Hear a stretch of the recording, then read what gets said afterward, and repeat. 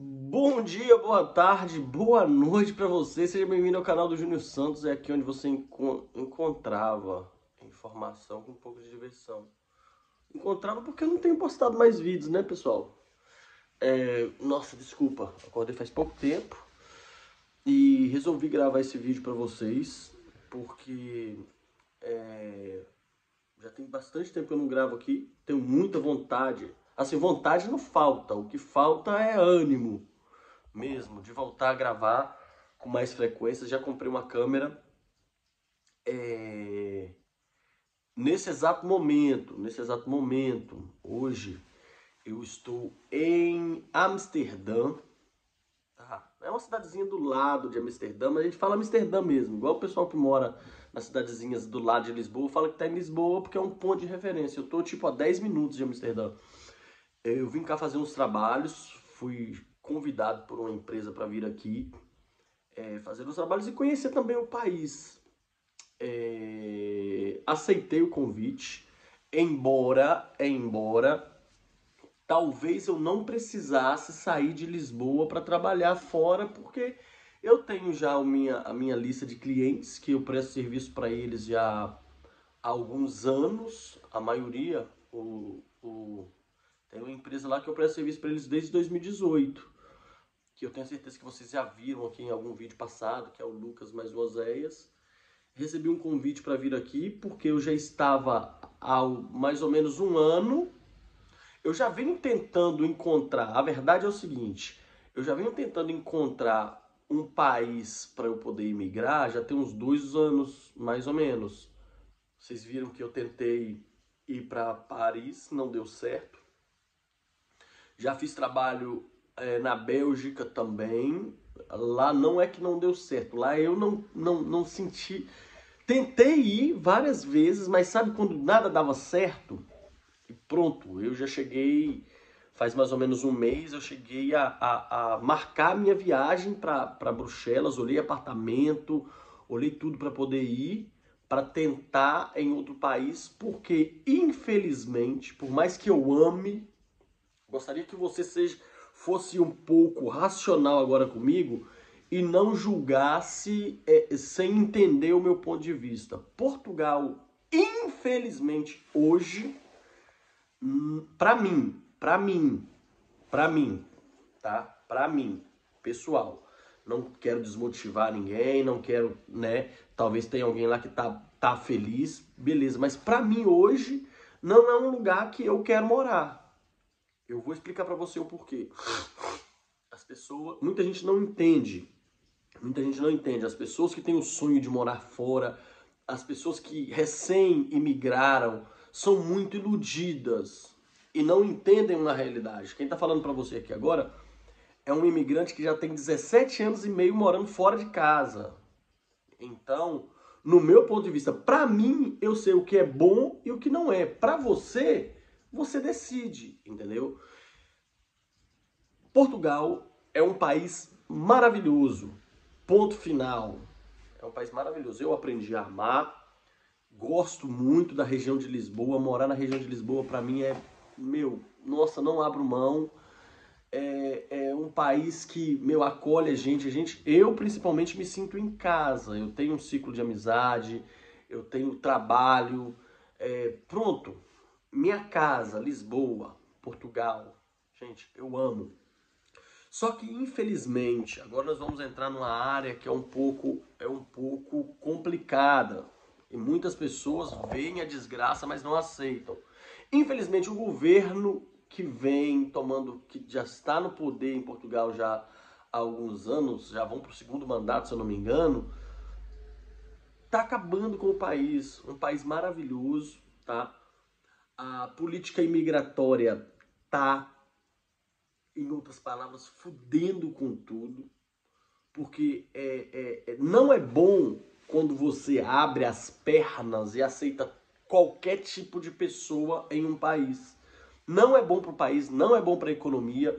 Vem chegando muita gente, vem chegando muito criminoso, vem chegando muita gente preguiçosa, vem chegando muita gente é, é, é ruim de serviço que além do salário ser o mais baixo da Europa, de 705 euros, algo assim, vem chegando muita gente desesperada, trabalhando por um valor abaixo do que é o salário normal. Eu já falei para vocês várias vezes aqui, exemplo, se eu pego um metro de cerâmica a 12 euros o metro quadrado, tá vindo gente pegando a 8.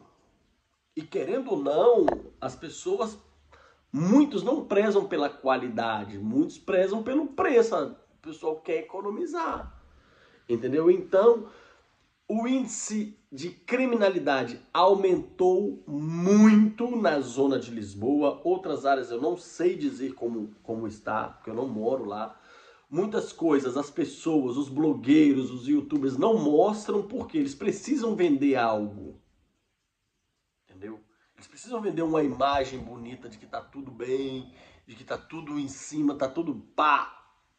Eu falo para vocês, olha só, eu, eu é, é meio contraditório, é meio contraditório para alguns, mas tem gente que me entende. Exemplo, eu não estou falando mal de Portugal, não estou falando mal do, do, do país, eu estou falando da condição em que eu estou enxergando as coisas hoje para mim, para minha família.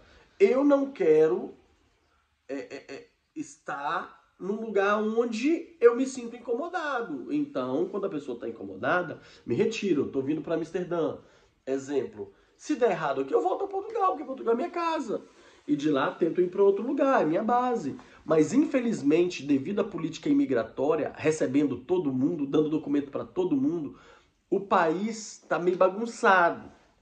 Desculpa falar, não quero ofender. Meus amigos portugueses sabem o meu carinho que eu tenho pelo país trabalhado, pago segurança social, pago, pago tudo, entendeu? Que é minha obrigação também, que se eu estou fluindo do, dos benefícios do país, eu, nada mais justo do que pagar os impostos lá.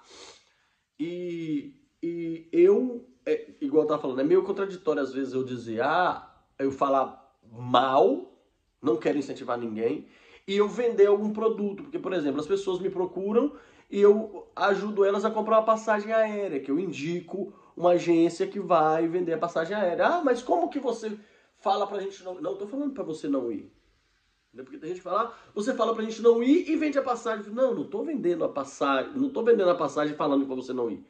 Eu faço o seguinte, eu exponho a minha vida, o meu ponto de vista e o que eu acho melhor para mim. Eu não tô falando, ah, não vem, pá. Eu, nesse exato momento, eu não vejo Portugal como uma boa opção para morar. Mas, ao mesmo tempo, para quem sonha em migrar, é a melhor opção. Por esse mesmo motivo, pelas políticas imigratórias. É onde você chega e você se legaliza. E por que, que muitos vão embora de Portugal? Porque muitos não aguentam.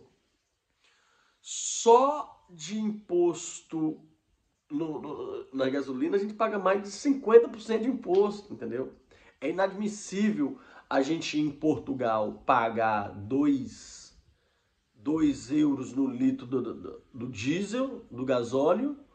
Em Amsterdã, que o salário é três vezes mais, quase, duas vezes.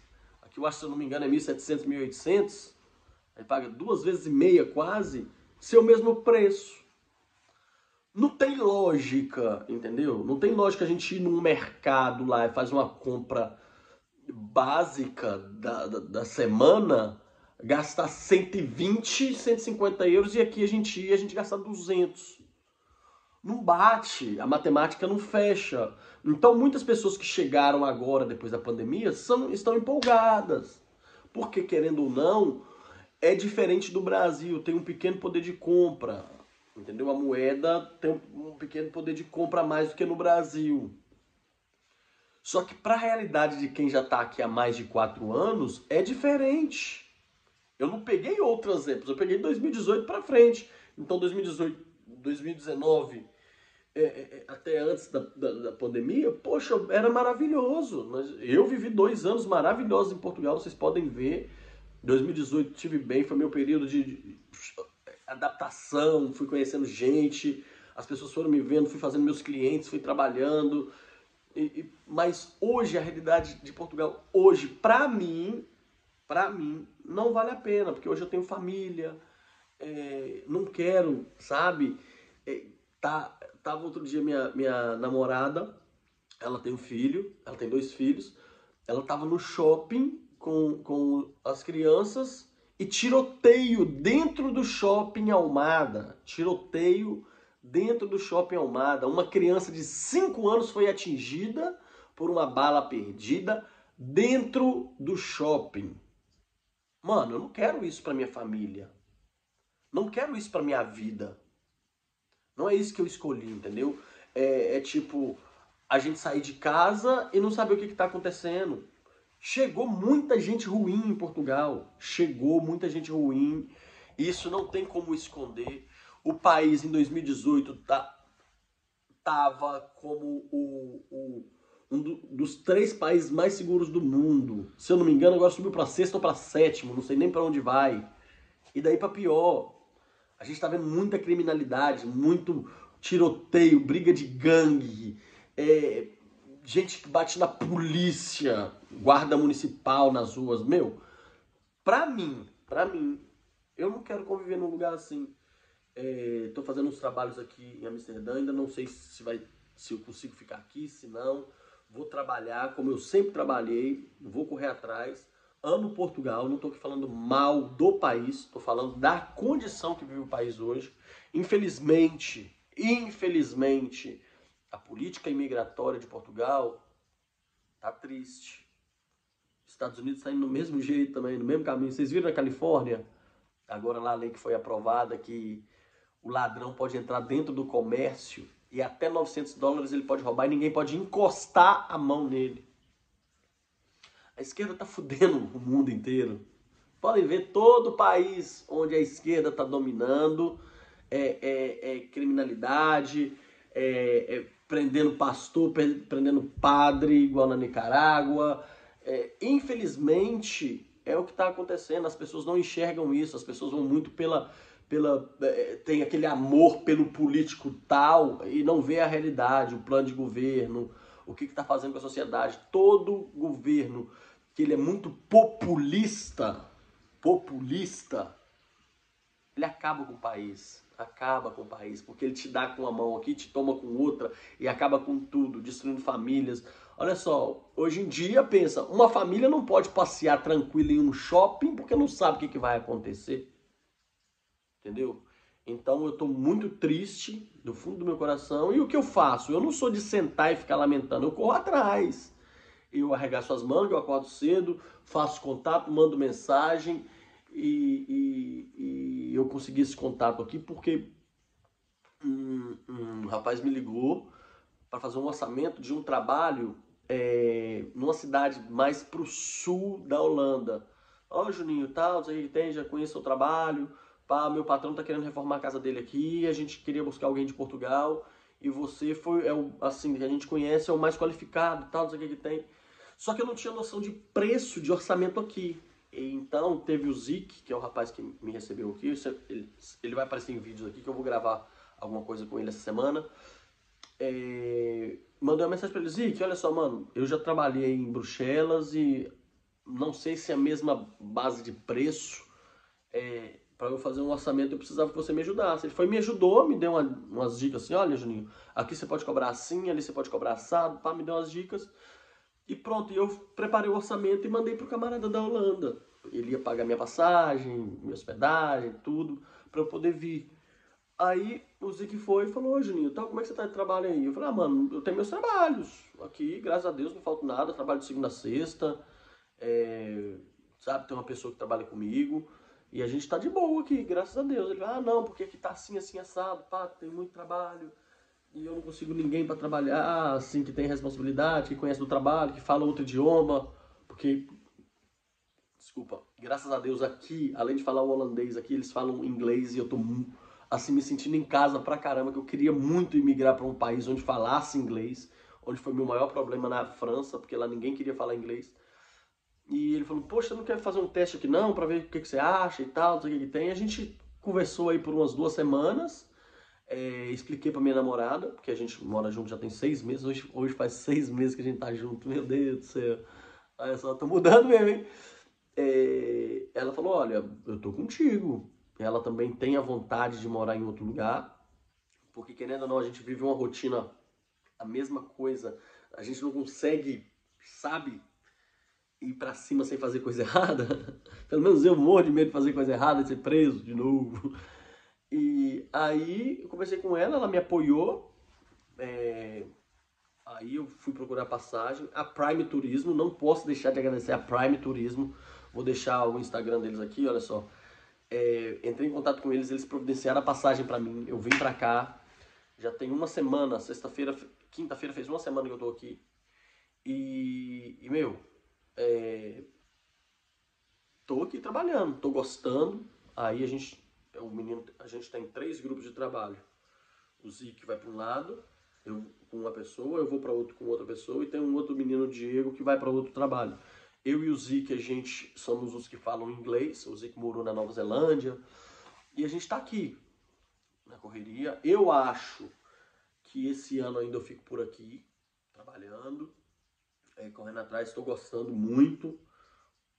Aparentemente, a Holanda é um país muito bonito, povo muito educado, sabe? É um, é uma, tá sendo uma experiência diferente entre Portugal, França, Paris, né? Bruxelas ali, dos três países que eu trabalhei. Até então, aqui eu eu estou gostando muito da estrutura do país, da educação, polícia, eu estava dirigindo com o carro, a luz estava queimada atrás, a polícia veio, ó, oh, boa noite, tudo bem? Olha, sua lâmpada está queimada. Não chegou esculachando, igual tem lugares que eles chegam esculachando a gente.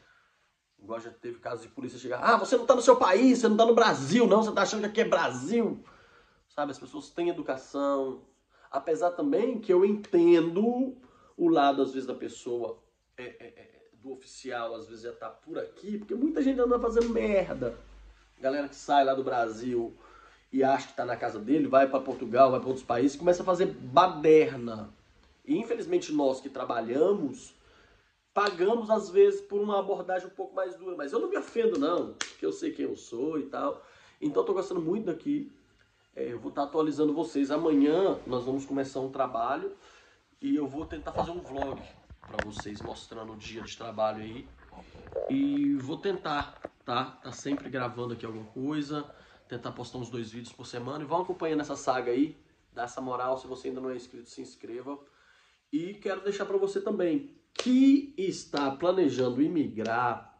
Você vai comprar sua passagem, você vai, eu vou deixar, eu vou deixar na descrição do vídeo e eu vou deixar também no, no, no, primeiro comentário do vídeo o contato da Prime Turismo. Vocês vão entrar em contato, faz sua cotação de passagem. Se você já tiver cotação, manda para eles. Fala, eu vi no vídeo do Juninho, vê aí se vocês conseguem cobrir esse preço para mim, manda para eles. Vou deixar lá o link do WhatsApp, você só clica, vai direto para a conversa e chama lá que eles vão te atender bem. A Prime Turismo, vou deixar o Instagram deles também, tá? E chegando aqui em Portugal, quer se legalizar? Aqui em Portugal não, né? Chegando em Portugal, quer procurar alguém que está apto a te ajudar judicialmente com seu processo imigratório, com tudo, você vai entrar em contato com a doutora Priscila, que eu vou deixar o e-mail também aqui embaixo. Só você falar que veio do Juninho, que eles vão atender você. A secretária vai te responder, tudo belezinha, pá, esquece. Então, essa semana teremos mais vídeos, tá bom? Então, aquele salve, Juninho Santos, fique com Deus e até mais. Ó, oh, e deixe nos comentários aí também o que, que você acha. É muito importante esse diálogo que a gente tem nos comentários. Eu vou estar respondendo também alguns e. Pau no gato. Bora, Bill!